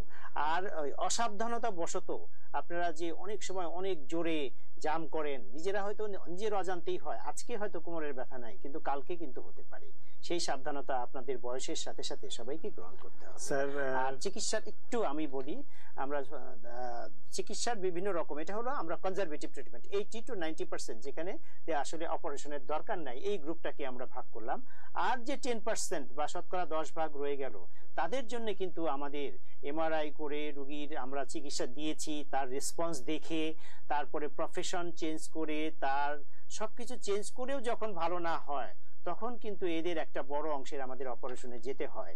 সেই অপারেশনটাকে আমরা বিভিন্ন ভাগে ভাগ করি। যদি আমরা পিএলআইডি একটু আগে শুনেছেন প্রলাপস লাম্বার ইন্টারভার্টিকেবল ডিস্ক বা কেউ কেউ বলে herniated lumbar disc H L D herniated lumbar disc herniated lumbar ডিস্কে যদি দেখা যায় যে কোনোভাবে দুর্বল হয়ে যাচ্ছে, পা বা অবশ হয়ে যাচ্ছে বা পায়খানা পেশাবের কন্ট্রোলটা হারিয়ে ফেলছে, তাহলে কোনো দেরি করতে পারবেন না। Immediately within twenty four hour আমাদের বই বলে, বইপত্র বলে, যদি আপনি চব্বিশ ঘণ্টার ভিতরে এই প্রবলেমগুলো সমাধান করেন বা অপারেশন করেন, তাহলে সাকসেস রেট নাইনটি পার্সেন্ট যদি সেটা চব্বিশ ঘণ্টা বা আটচল্লিশ ঘণ্টার বেশি অতিক্রান্ত হয়ে যায়, তাহলে সাকসেস রেট মাত্র টোয়েন্টি টু থার্টি পার্সেন্ট মানে কি? এই পেশাব ঝরা বা পায়খানাটাকে কন্ট্রোল না করতে পারা বা সেক্সুয়াল ডিসফাংশন এটা কিন্তু স্থায়ীভাবে আপনার ঘাড়ে জোরে বসবে। সেজন্য সুপ্রিয় দর্শক, আপনাদের কাছে বিশেষ অনুরোধ, যেটা আমরা লো ব্যাক পেইনের মাধ্যমে একটা মেসেজ অন্তত দিতে চাই, যে যাদের পা দুর্বল হয়ে যাচ্ছে, যাদের পায়খানা পেশাবের কন্ট্রোলটা ধরে রাখতে পারছেন না, যাদের পানি খরচ করার সময় পায়খানার চারপাশে অবশ অবশ লাগছে এগুলোকে আপনারা খুবই খুবই গুরুত্ব দিয়ে খুবই গুরুত্বপূর্ণ মনে করে অতি সত্তর ডাক্তারের কাছে যে প্রয়োজনীয় পরামর্শ নেবেন। স্যার খুবই সুন্দরভাবে আমরা জানতে পারলাম আপনার কাছ থেকে যে চিকিৎসা পদ্ধতি কি কি। স্যার আমি জানতে চাচ্ছিলাম যে বাংলাদেশে কি মানে কি কি অপারেশন হয়? এখানে কি স্যার আমরা অনেক সময় দেখে থাকি যে প্লেট স্ক্রু বা এরকম এগুলো কি ব্যবহার হয় স্যার? হ্যাঁ হ্যাঁ অবশ্যই। আমাদের ডিস্ক সার্জারির জন্য বা প্রোলাপস লাম্বার ইন্টারভার্টিবল ডিস্কের জন্য আমরা বলি ফেনিস্ট্রেশন অ্যান্ড ডিস্কেক্টমি আমরা একটা জায়গাতে ছোট একটা ছিদ্র করি। ছিদ্র দিয়ে ডিস্ক ম্যাটেরিয়ালটা বের হয়ে নার্ভকে চাপ দিয়েছিল, সেই জিনিসটা তুলে দেয়। এইটা হলো বাংলাদেশের কমন অপারেশন বাংলাদেশে না, সারা পৃথিবীতেই।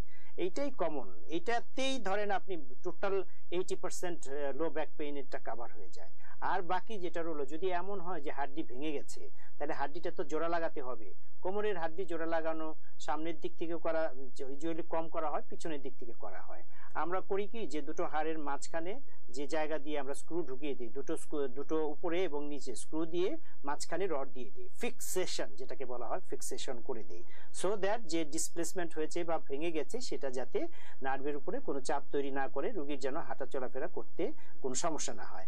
এই অপারেশন এখন বাংলাদেশে সব জায়গাতে, ছোট ছোট হাসপাতালগুলোতেও যেখানে এক্স রে করার ফেসিলিটি আছে, সেই সব হাসপাতালে এই ধরনের অপারেশন করা সম্ভব। ডিস্ক ডিস্ক অপারেশন এবং এই যে আমরা যেটা বলছি যে ডিসপ্লেসমেন্ট বা ভেঙে যাওয়া স্ক্রু বা রড দিয়ে বা প্লেট দিয়ে জায়গাটাকে ফিক্স করা এটা সব ধরনের অপারেশন এখন বাংলাদেশের অহরহ হচ্ছে সব জায়গাতে হচ্ছে। একদম উপজেলা লেভেল পর্যন্ত এটা করা সম্ভব যেখানে একটা এক্স রে করার মতো ফেসিলিটিস আছে। মানে স্যার এই যে রড আর স্ক্রুটা যে আমরা দিচ্ছি স্যার এটা কি আজীবন থাকবে এই রড এবং স্ক্রুটা এটা কনসেপ্ট এখন একটু চেঞ্জ হয়ে যাচ্ছে।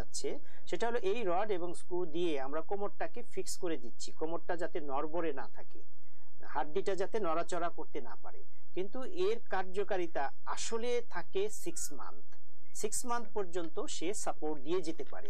তারপরে এর পাশাপাশি যে দুটো বোনস তারাই কিন্তু এদের কার্যকারিতা গ্রহণ করে। হাড্ডি নিজেই তার কাজ করে। তাহলে ছ মাস পরে এই ডিভাইস এটাকে বলি আমরা হার্ডওয়্যার এই যে স্ক্রু এবং প্লেট এটাকে মেডিকেল সায়েন্সের ভাষায় বলা হার্ড এই হার্ডওয়্যারের আসলে আর দরকার নাই। ইচ্ছে করলে কোনো ডাক্তার যদি চায় যে আমি এটা বের করে ফেলতে চাই, তাহলে আগে একটা এক্স রে করে বা CT scan of the lumbosacral region করে যদি দেখে যে হাড্ডি ফিউজ হয়ে গেছে বা জোড়া লেগে গেছে, তাহলে এই হার্ডওয়্যার বা স্ক্রু রড এবং প্লেট খুলে ফেলতে পারবে নির্দ্বিধায়। স্যার খুবই সুন্দর একটি তথ্য আমরা জানতে পারলাম। দর্শক আমাদের অনেকের মাঝেই এই ভুল ধারণা থেকে থাকে যে আমরা আসলে নিজেরাও এই ধারণার মধ্যেই আছি যে রড এবং স্ক্রু মানে আজীবন রেখে দেয় অনেক ক্ষেত্রে বা থেকে যায়। তা স্যারের কাছ থেকে আমরা জানতে পারলাম যে আপনি যদি মনে করেন, আপনার ফিজিশিয়ান বা আপনার সার্জন যদি মনে করে যে আপনার রড, স্ক্রুটি আর লাগছে না, সেক্ষেত্রে আপনি বের করতে পারবেন। স্যার রড এবং স্ক্রুর ক্ষেত্রে আরেকটি কমন কোশ্চেন আমাদের রুগীদের কাছ থেকে শুনি। বা অনেক ডাক্তারেরও আমাদের মিসকনসেপশন আছে যে এই রড স্ক্রু থাকা অবস্থায় কি আমরা এমআরআই করতে পারব কিনা? পরবর্তীতে যদি কোনো কাজে লাগে। ধন্যবাদ এই প্রশ্নটার জন্য। এটা খুবই হাই টেক একটা কোশ্চেন সেটা হলো রড আমরা যে রড ইউজ করি বা স্ক্রু ইউজ করি বা প্লেট ইউজ করি, এটা টাইটানিয়াম মেড হ্যাঁ? টাইটানিয়াম নামে একটা ধাতু দিয়ে তৈরি। এই ধাতুটা যদি শরীরে লাগানো থাকে, তাহলে এমআরআই করতে কোনো বাধা নাই। কিন্তু সেটা যদি টাইটেনিয়াম না হয়ে সাধারণ স্টিল হয়ে থাকে বা নন টাইটেনিয়াম স্টিল বা রড বা আয়রন এরকম যদি হয়ে থাকে, তাহলে এমআরআই করা যাবে না। কেন? কারণ এমআরআই মেশিনে এই মেটালগুলো এটা বের হয়ে আসবে। ইভেন যে পজিশনে আছে, এখান থেকে খুলে বের হয়ে এসে মেশিনে লেগে যেতে পারে। কারণ আমরা জানি এমআরআই একটা magnetic high power magnetic field তৈরি করা হয়। সেই জন্য টাইটে আমাদের দেশে যে আমরা ডিভাইসগুলো ইউজ করছি all are made by titanium সুতরাং এগুলো সহ এমআরআই করা সম্ভব। এটাতে কোনো কন্ট্রাইন্ডিকেশন ভয়ের কিছু নাই। ভয়ের কোনো কারণ ধন্যবাদ স্যার। স্যার আমরা অনুষ্ঠানের একেবারেই শেষ প্রান্তে চলে এসেছি। আর কয়েকটি প্রশ্ন আছে আমাদের।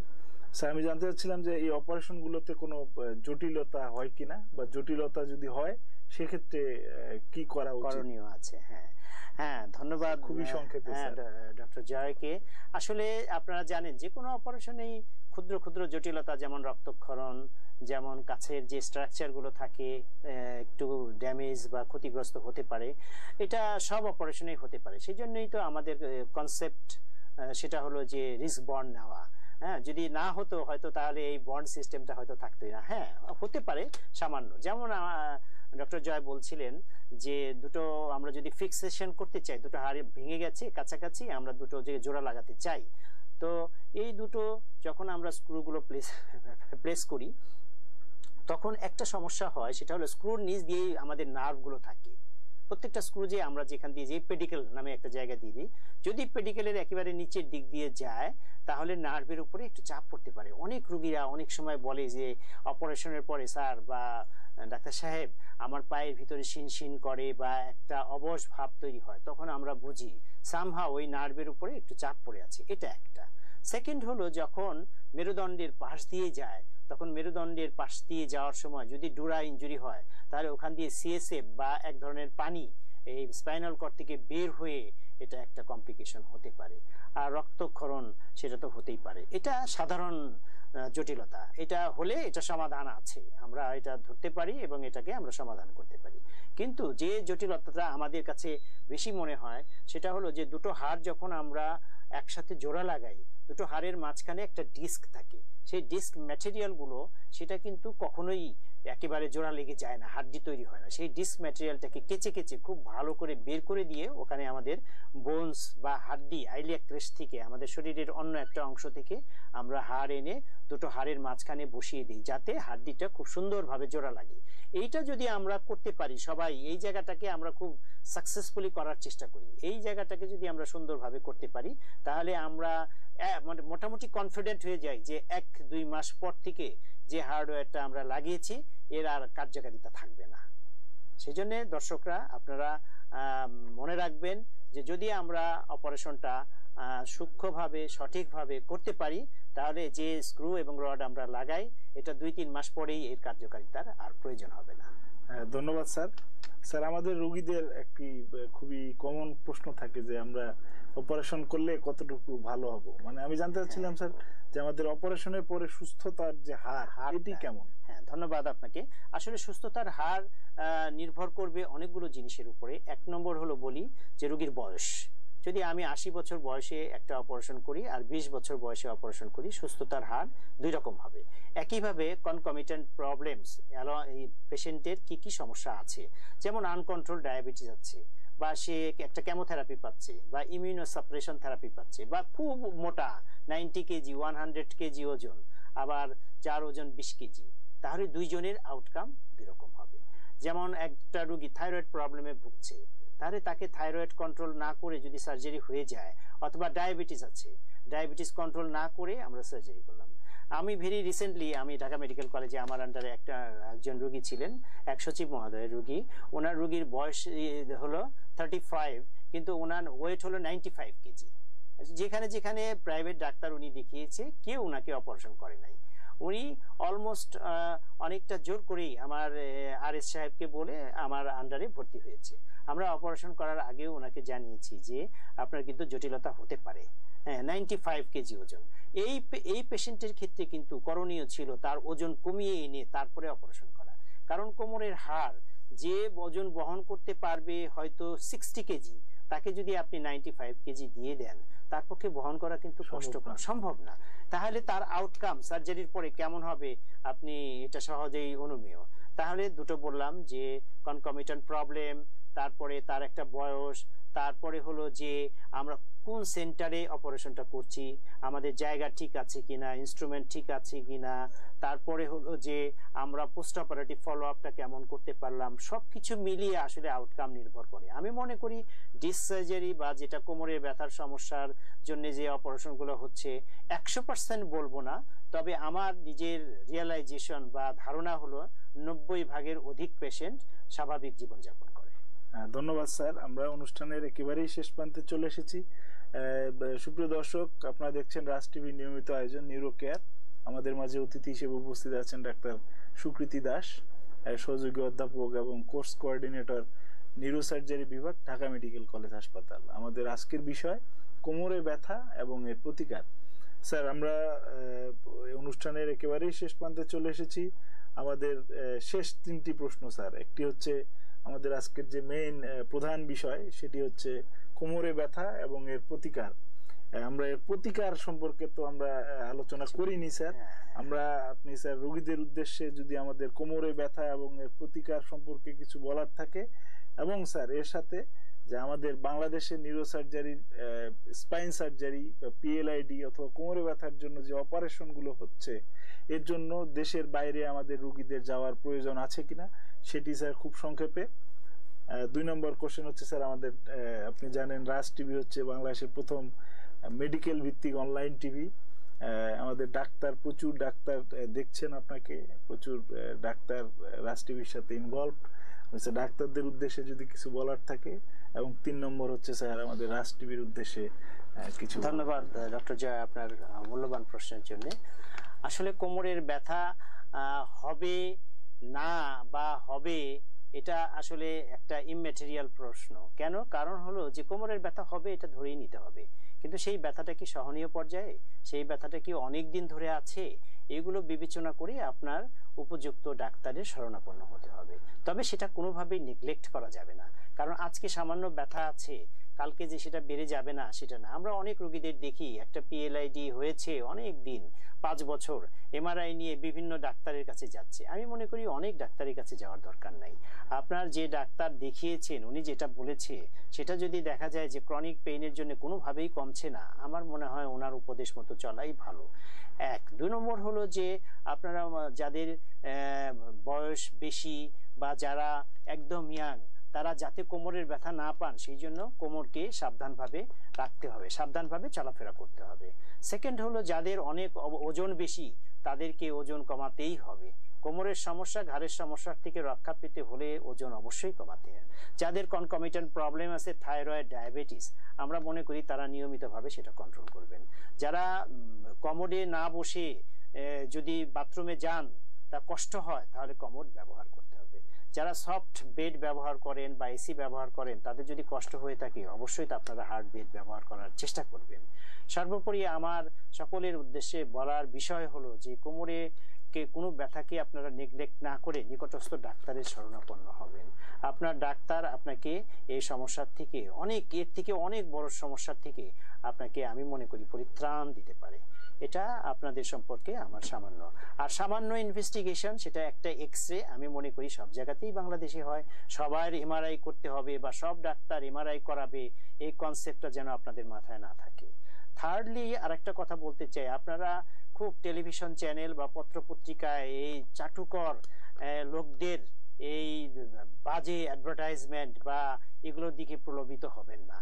আপনাদেরকে তিন দিনে ভালো করে দিবে, সাত দিনে মুক্ত করে দিবে। কোমরে ব্যথা আসলে সেরকম সমস্যা নয়। কোমরে ব্যথা আজকে আছে, মাঝখানে তিন মাস নাও থাকতে পারে। আবার তিন মাস পরে একটু হতে পারে। সুতরাং একেবারে জীবন থেকে ব্যথা নির্মূল করে দিবে, এই বক্তব্যের সাথে আমি একেবারেই একমত নই। আধুনিক পদ্ধতি ইনজেকশন লেজার থেরাপি অধিকাংশ ক্ষেত্রে এর কার্যকারিতা সাময়িক।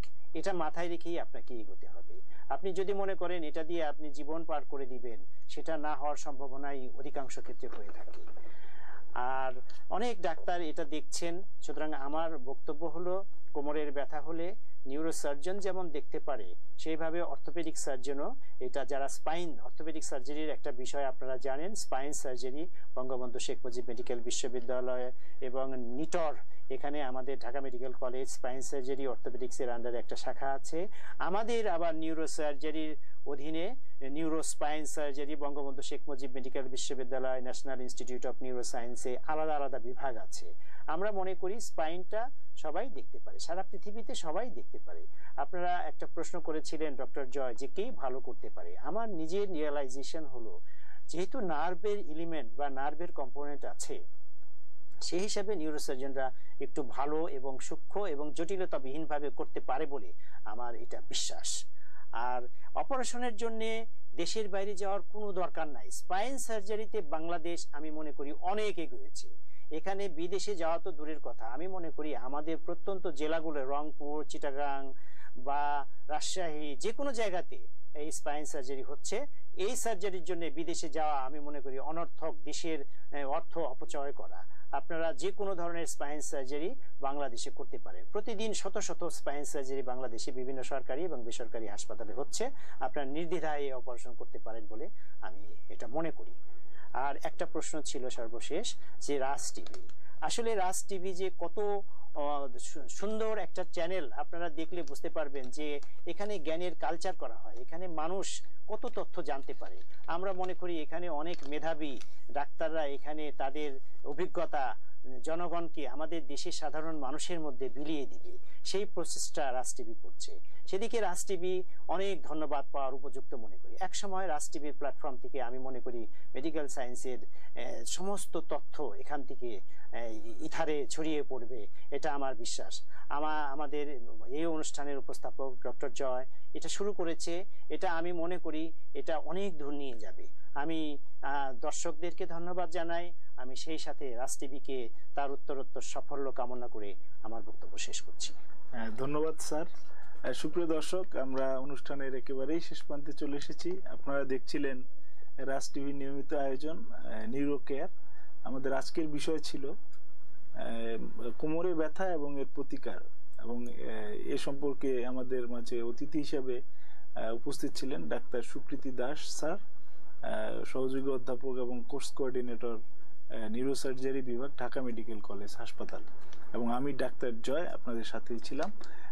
দর্শক আজকের মতো বিদায়। সবাই ভালো থাকবেন রাজ টিভির সাথে থাকবেন। ধন্যবাদ।